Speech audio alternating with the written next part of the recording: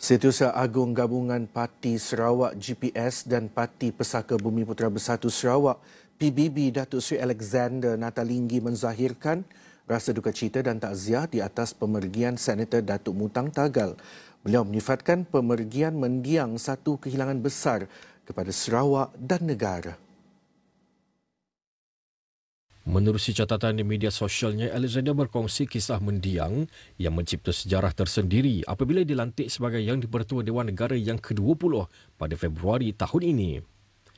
Berkongsi lanjut, Alexander berkata mendiang bukan orang asing bagi keluarganya. Bukan sekadar rakan seperjuangan dalam arena politik, malah mendiang juga dianggap sebagai kenalan rapat.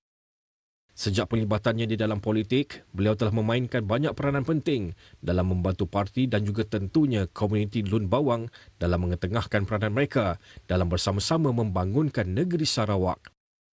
Alexander turut mendoakan semoga semua ahli keluarga mendiang dan seluruh komuniti Lun Bawang diberikan kekuatan dalam menghadapi kehilangan ini.